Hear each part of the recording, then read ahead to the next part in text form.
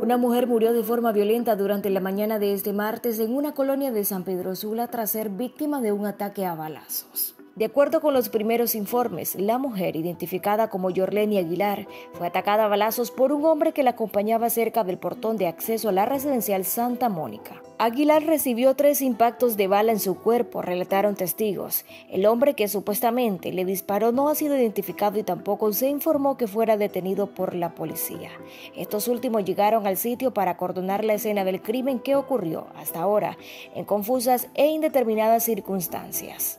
Aunque se dijo por testigos que la víctima y el atacante habrían discutido segundos antes, la policía no oficializó ninguna versión hasta ahora y dijeron que esperarán la llegada de medicina forense, mientras también remarcaron que se realizaron operativos en el sector para dar con el paradero del supuesto homicida.